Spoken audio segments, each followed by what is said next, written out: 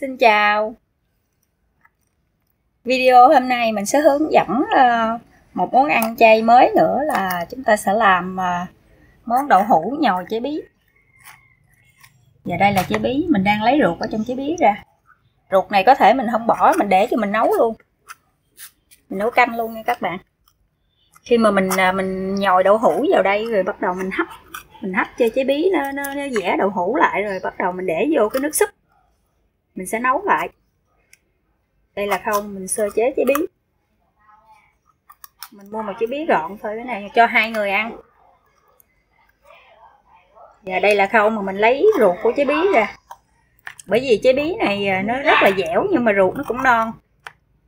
Cho nên à, khi mình lấy ra nó trống như thế này mình sẽ nhồi đậu hũ vô đây. Đây. Đây là chế bí mình à, mình đã lấy hết ruột. Trống ở trong đây. Như các bạn rồi, khâu này mình để qua một bên. Khâu tiếp theo mình sẽ làm ờ,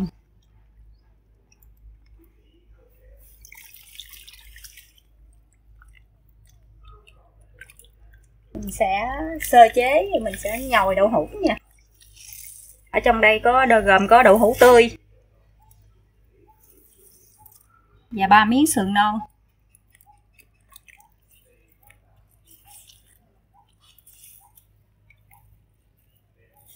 Gồm có sườn non, đậu hũ tươi.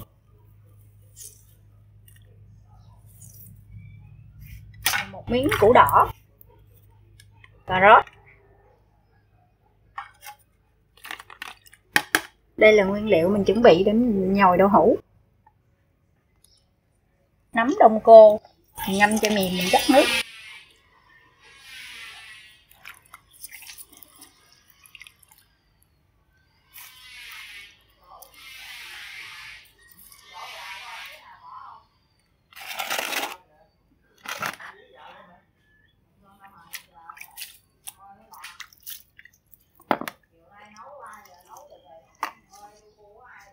Và đây là hành lá.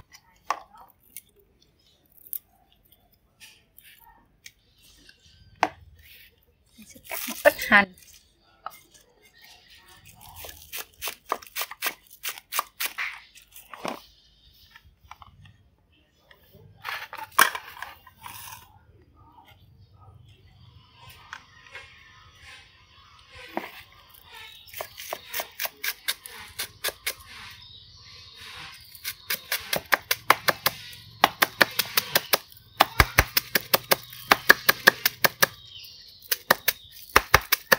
hành lá mình cắt cho thật là nhuyễn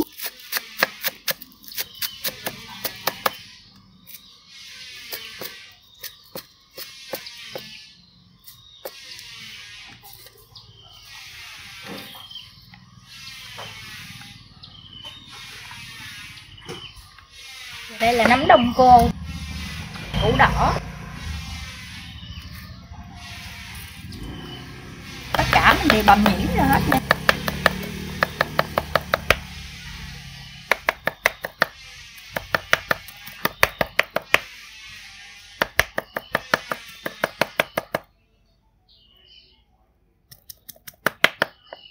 Nấm cũng bầm nhuyễn, củ đỏ cũng bầm nhuyễn luôn.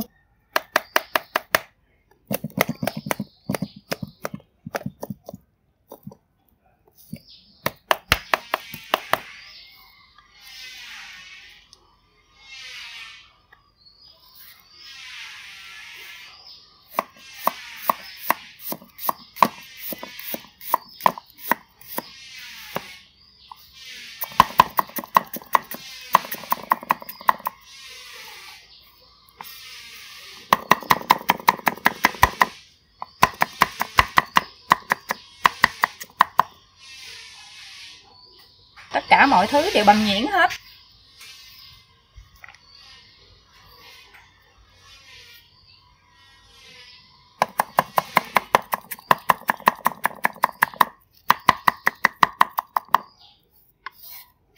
Giờ tiếp đến là sườn non. Sườn non chúng ta xé ra cho nó nhuyễn rồi mình cũng bập nhuyễn luôn. Mình xé sợi ra như thế này rồi mình bập Ờ, khi sườn non này nó sẽ làm cho cái nhồi đậu hũ của mình nó tăng hương vị. À, nó làm cho nó dai lên thêm. Dai cái món đậu hũ nhồi của mình. Và hương vị của sườn non nó cũng sẽ làm tăng hương vị của đậu hũ nhồi.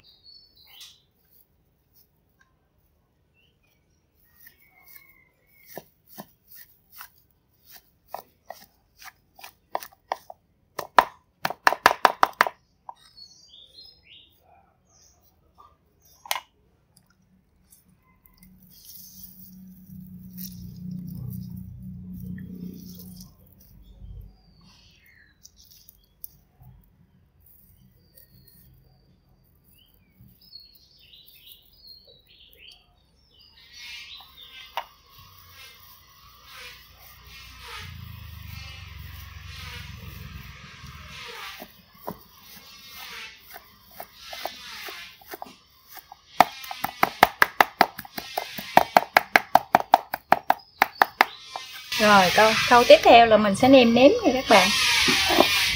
Mình sẽ sơ chế hết mọi thứ rồi chúng ta sẽ nêm nếm.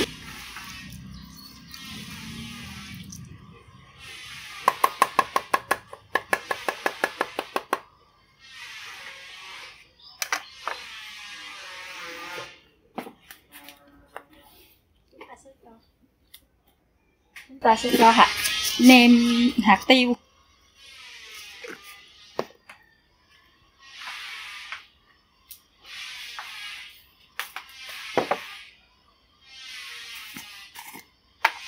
Một muỗng bột ngọt.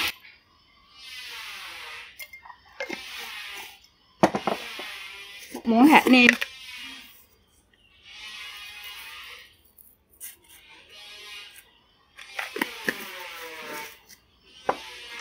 Và một ít xíu đường.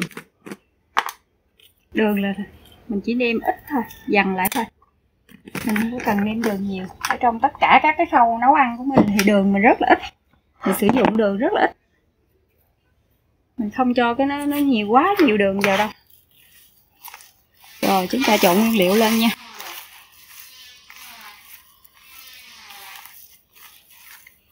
Đây là món ăn đơn giản à, mình chế biến từ à, đậu hũ. Nhưng mà nó cũng là một món ăn chay rất là bổ dưỡng cho những người ăn chay chúng ta nha. Gồm có đậu hũ tươi. Khi mình mua đậu hũ tươi về thì mình dặn cho nước nó ráo, nó khô khô miếng đậu hũ như vậy thì mình nhồi nó sẽ được dai hơn.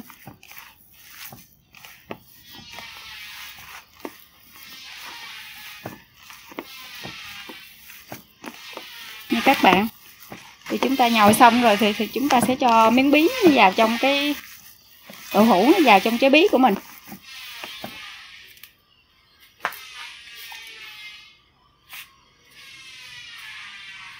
Rồi và đây là trái bí.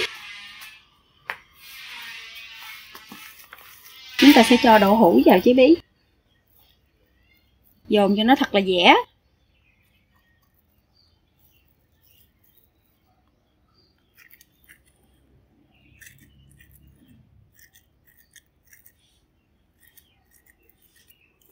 Món ăn bổ dưỡng dành cho người ăn chay. Người ăn mặn người ta dùng thịt, mình ăn chay mình dùng đậu hũ nha.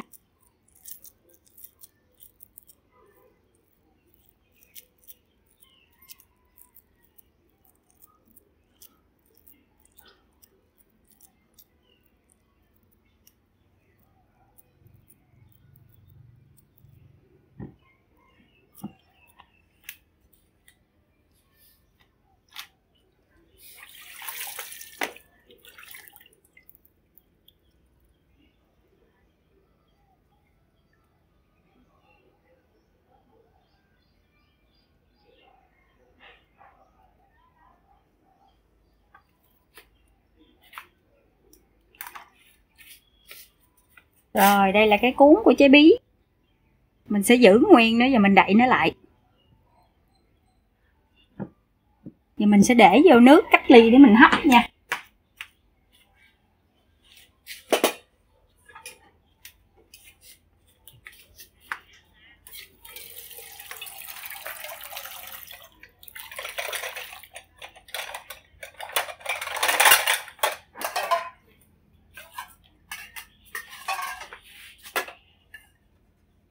Mình cho một chút xíu nước vào nồi.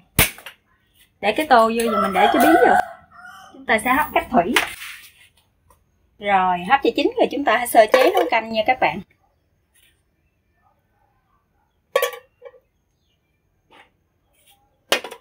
Được rồi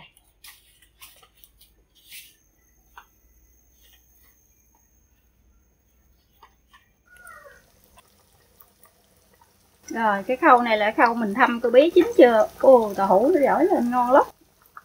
Mình sẽ cho thêm khoảng 5 phút nữa đi.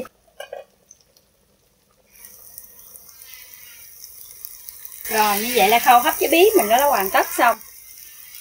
Mình sẽ lấy trái bí ra khỏi nồi.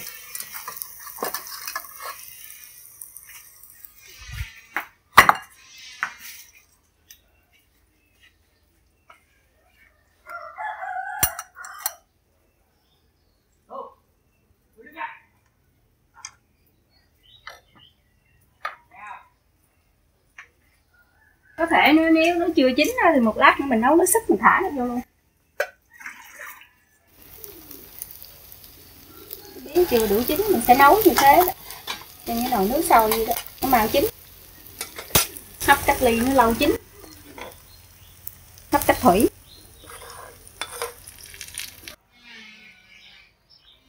Rồi, mình đã nấu cái bí ở trong nồi canh. Giờ mình sẽ thăm khám coi nó chín chưa nha?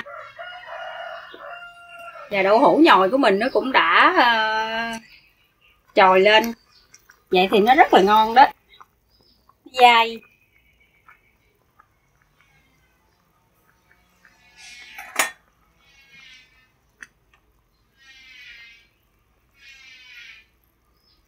Khi mình nấu nguyên trái bí ở trong cái nồi canh như thế này nè là nó cái độ chín của cái trái bí nó sẽ nhanh chín hơn mình hấp tại vì khi mình hấp ở trên lửa thì nó sẽ rất là lâu chín. Nên chúng ta sẽ nấu ở trên cái nước như thế này nhưng mà mình đừng có cho nó thấm nước vào cái cái cái đậu hũ. Nó sẽ mất cái độ dai. Cho nên chúng ta sẽ nấu ở trong cái nước sôi như thế này. Chế bí nó vừa mau chín là đậu hũ nó lại vừa dai nữa. Thì ở đây mình sẽ để khoảng 5 phút nữa. 5 phút nữa thì mình sẽ tắt bếp. Rồi như vậy là cái trái bí của mình đã, đã mình đã thăm khám nó đã đủ chín rồi mình sẽ cho nó ra một cái chén. Tiếp theo giờ nồi canh mình sẽ thêm.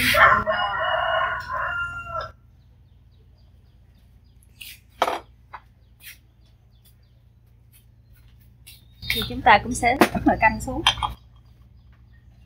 Cái nồi canh của mình hôm nay gồm có khoai tây, củ dền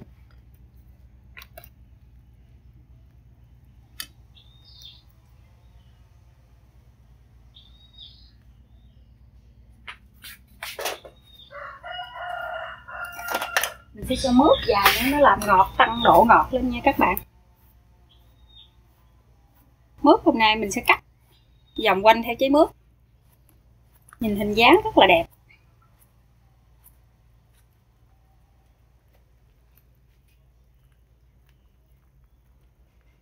Chúng ta đợi cho mướp nữa nó chín rồi chúng ta sẽ rồi, bây giờ tới trái bí à chế bí này mình hấp nãy giờ ở trong nồi canh nó cũng đã lâu rồi mình hấp rồi mình nấu canh nữa. Chúng ta sẽ cắt chế bí ra nha.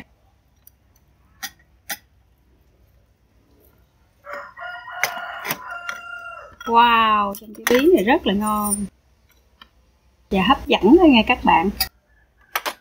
À, mình cũng chỉ mới chế biến lần đầu tiên thôi. Nên à, đây cũng là cái kinh nghiệm. Nếu nó có sơ sót gì thì các bạn thông cảm nha. Lần đầu tiên mình sơ bí mình làm chế bí này nè rất là ngon. Nhìn rất là tuyệt vời, phải không các bạn? Giờ mình muốn cho nó dễ ăn thì chúng ta sẽ chẻ thêm. Chẻ làm đôi nữa nha. Chúng ta sẽ cắt cái bí ra. Để mình dễ ăn cái miếng bí hơn. Tại vì là mình hấp nguyên trái mà, phải không? Cho nên chúng ta sẽ cắt ra. Để vừa cái miếng chúng ta ăn. Ở đây cũng là lần đầu tiên mình chế biến món này, mình chỉ thử nghiệm thôi. Cho nên à, nhưng mà cũng rất là hấp dẫn ngon đậu hũ nhồi với bí này thì cũng giống như người ta nhồi với thịt vậy đó. Rất là ngon và hấp dẫn. Wow, và đây là một món chay nữa, thuần khiết dành cho người ăn chay rất là bổ dưỡng. Ở trong cái món bí này thì nó có ờ, rất là nhiều vitamin. Và đậu hũ nhồi, rồi à, nấm đông cô, rồi hành tiêu. Tất cả mọi thứ đều ngon và bổ dưỡng. Mời các bạn thưởng thức nha phải ăn một bữa chay thuần khiết. Cho thân tâm nó được an lạc, trí tuệ sáng suốt, đỏ, minh mẫn. A di đà phật.